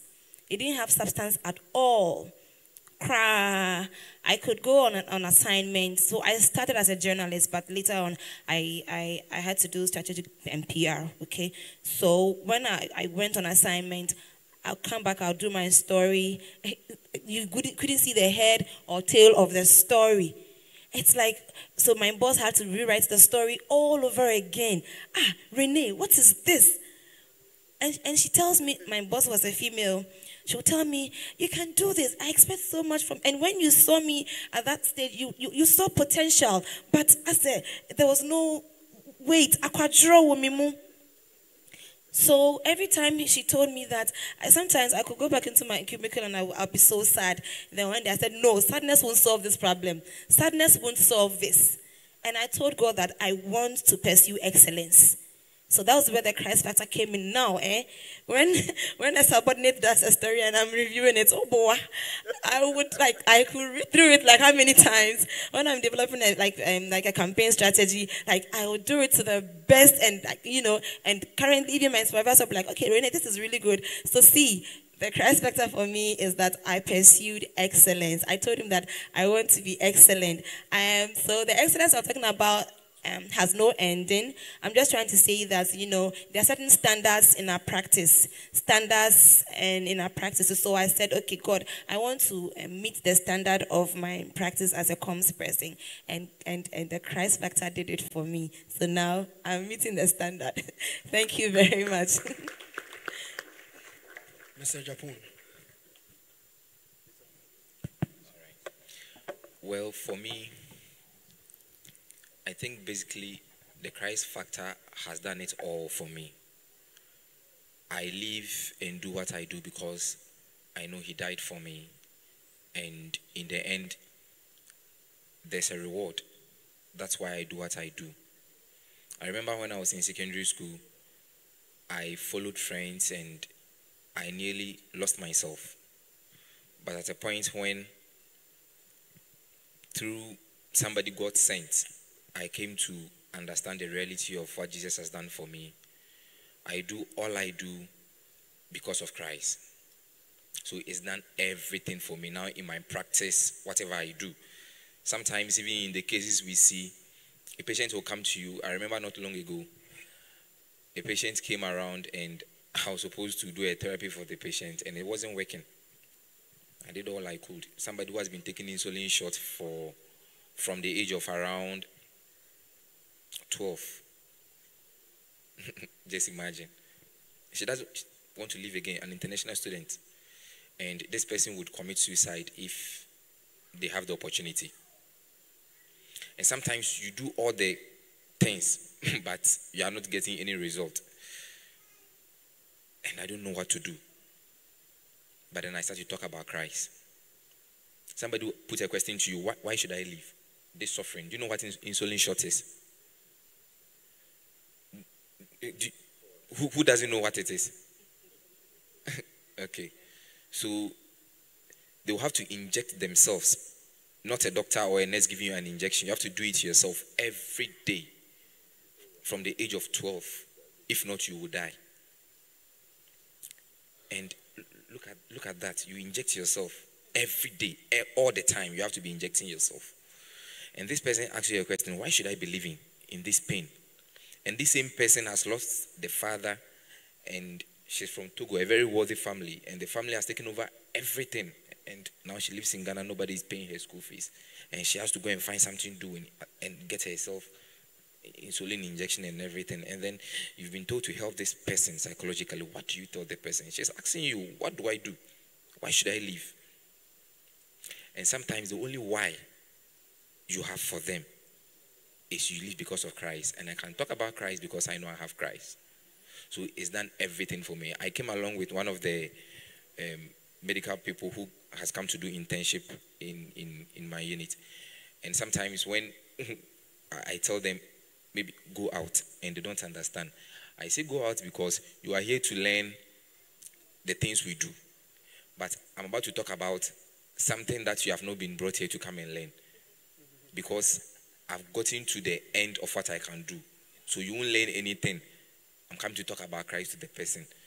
Because that's what I can say. Don't kill yourself because Jesus has a purpose for you. That's also the Christ factor has given me life, and that's what is done for me and I think I'm happy about that.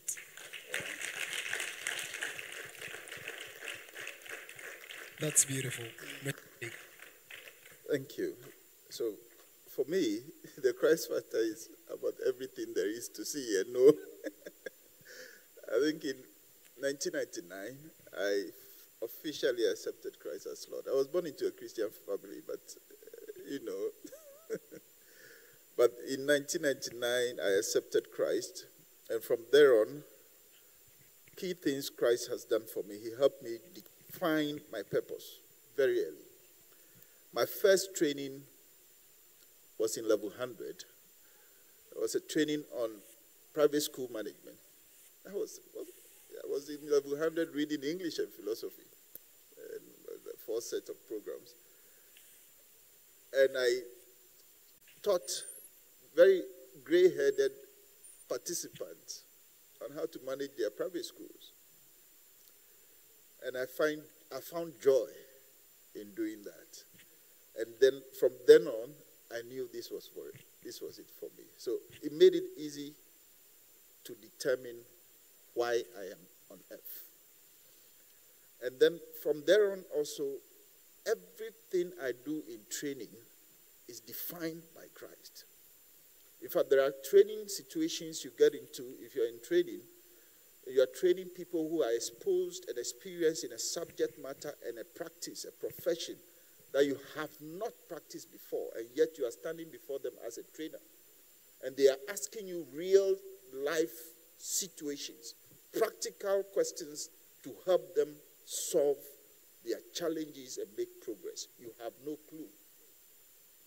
And on your feet, the Lord just speaks to you there and there. As He's speaking, you are, you are facilitating, you are teaching and directing. I've had that experience, I, ca- I have lost count. You walk into, I'm talking about training. Per my practice, we train, we develop training and facilitate training for any kind of environment. And so, I mean, the current work I do, the project I'm on, was because I developed training for the medical practitioners, doctors, for Medical and Dental Council, and I used to travel around running, taking business management concepts to train medical practitioners how to manage facilities, their facilities. The current work I work in, I do, the project required somebody with a pediatric nursing background at the minimum, pediatrician at the height. I have none of that, I run that office. Even what I do here in church, in TBC, I'll share this as a, a testimony, as my life statement. Anytime I handle coordination and I have to run the final announcement, I don't climb the stage, the pulpit with my head. If you, you pay close attention, I always will ask the voice of God. I don't come to the this stage knowing what I'm going to say. I just tell God, Father, they say. So you you got to talk. I, I don't know what to say. And every single day, the words that come out are never planned. Total dependency. Here's the catch. Anytime you find me here and I'm fumbling, struggling to piece my words together, that is the real Raymond. That is me.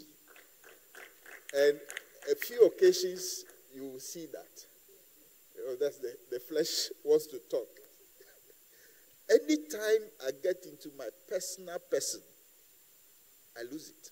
And so by experience, I have learned to totally depend on him. So if I'm coming up, I don't want to hear anybody. I don't want you to tell me, Kawe, Kawe. I just want to come tabula rasa, empty headed. Just present my mouth. Eh, Lord, use, Lord, talk. Let them not hear my voice. And I have that experience every single day. I have learned to utilize that grace even in corporate training. When I step into corporate environment, irrespective of the faith, when you sit in my training, you would experience God. I've had trainings where I play certain, I set the atmosphere. I have trainings where Muslims, after the training, walk up to me. Can I get your collection of gospel tracts? Non Christians. Because I want to define the space. You cannot come into that space and do just anything. I will determine the pace, and my God must reign in that space. So Christ for me is everything. You set me aside, you put Christ aside, the person you will meet, you may not like the person. So who am I without Christ? Nobody. That's my statement. Thank you.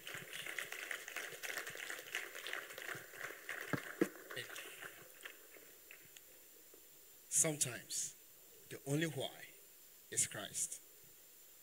And one more thing, I define this where I have my meetings. Thank you very much, ladies and gentlemen, for the full knowledge you have imparted.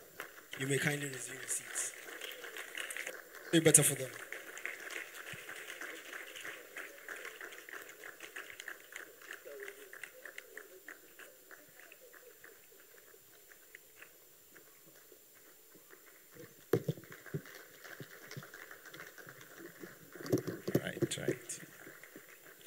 Hallelujah. Let's put it up for them again once more time. Wow. What a depth of knowledge. Hallelujah.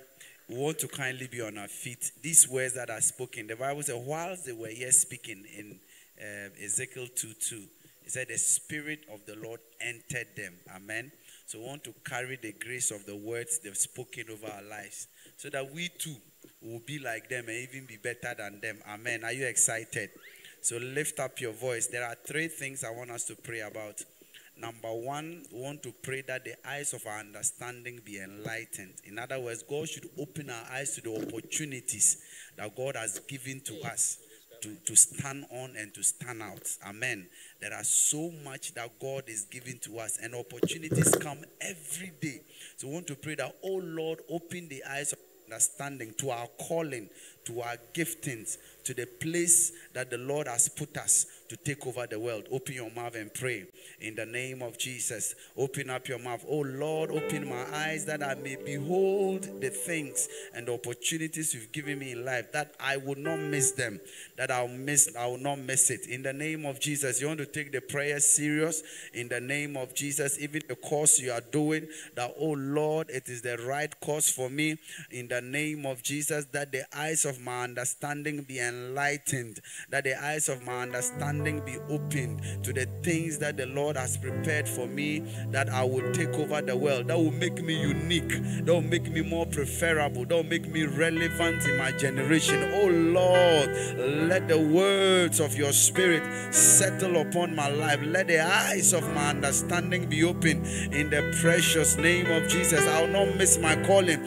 Let every crooked part of my destiny be made straight in the precious, mighty name of Jesus. Oh Lord, open our eyes to opportunities. Open our eyes to opportunities. Open our minds to the ideas you are dropping in them in the precious, mighty name of Jesus. Continue to pray the second prayer. I said, Come to my come to me, come boldly to the throne of grace. You want to pray for boldness to handle the things God is putting in your heart. You want to pray, oh Lord, grant me boldness. Joshua said, be, be courageous, be bold. Do not fear. You want to pray, oh Lord, grant me the grace to be bold, to handle everything you put in my heart and in my mind. That Lord, I will not fear to take that step. You've ordered me. Jeremiah said that God said, Call unto me and I'll show you greater things you do not know. Oh Lord, grant us boldness. Grant us that courage to run with the ideas and the visions you put in our hearts and our minds. In the name of Jesus. For we can do all things through Christ who strengthens us. In the name of Jesus. That vision, that call over your life, that the Lord will empower you, the Lord will empower you, the Lord will grant you courage to take that bold step, that you will God has put in your heart. In the precious, mighty name of Jesus, we give God all the glory.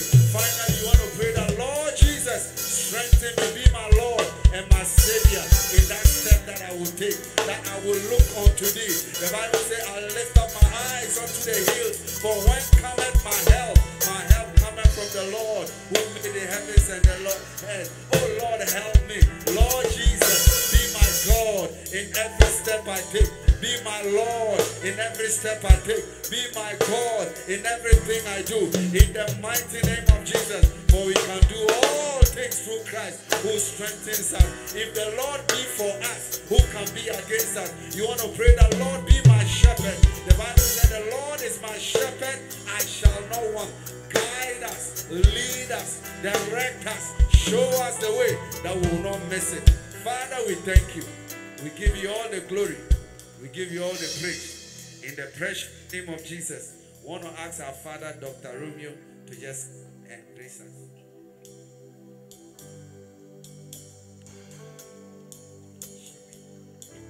Shall we pray? Our Heavenly Father,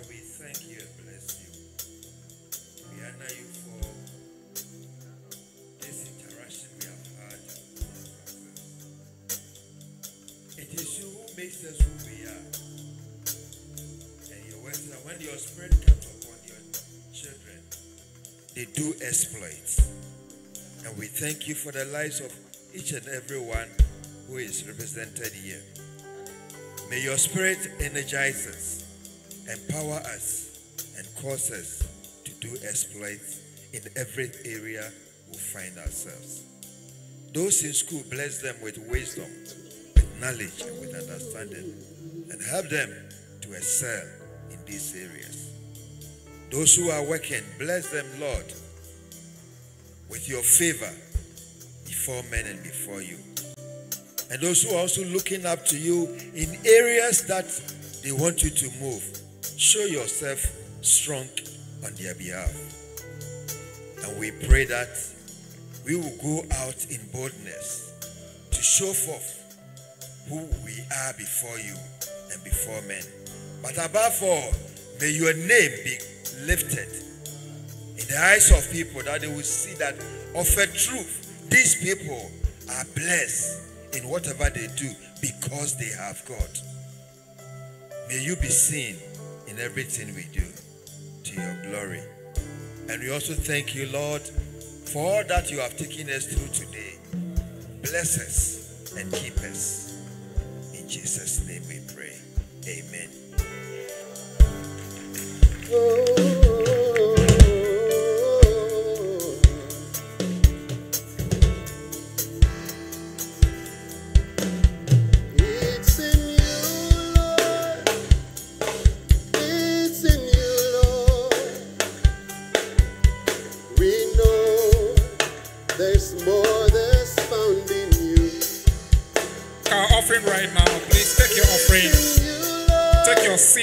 name your seed, and as the usher direct you, give unto the. God bless you.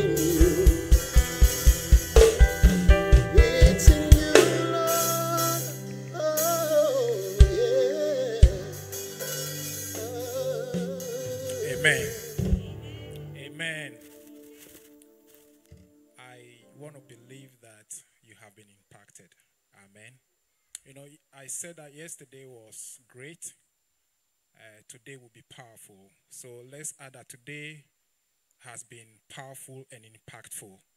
And tomorrow will be transformational and glorious. Say, tomorrow will be what? I want you to understand that we are on a journey. This is Impact, this is Standout Conference.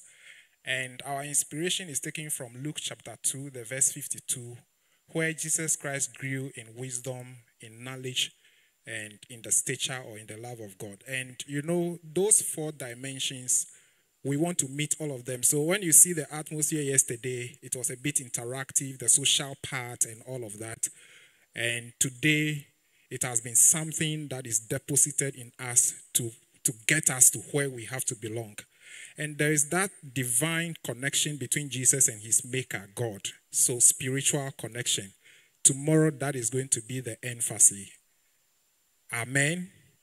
We are going to have great men of God in the house tomorrow. Say amen. I think I'm a bit, uh, you know, maybe the thing has gotten into me, uh, so I'm down. Hello. Please, are you in the house of the Lord? Are you in the house of the Lord?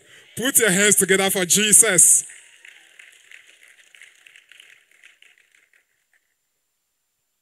I, I want to give an assignment. Assignment number one just go through the scriptures and pick a character in the Bible regarding the branding we've spoken about. I can give you two, or let me give you one. Daniel. Just study about the personality.